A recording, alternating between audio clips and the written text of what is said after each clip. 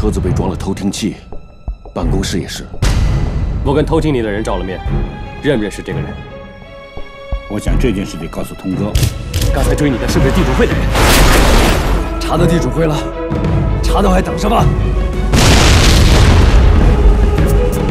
你的货卖不卖啊？你告诉我我老婆在什么地方，我卖给你。我怎么知道你老婆在哪？我没时间啊。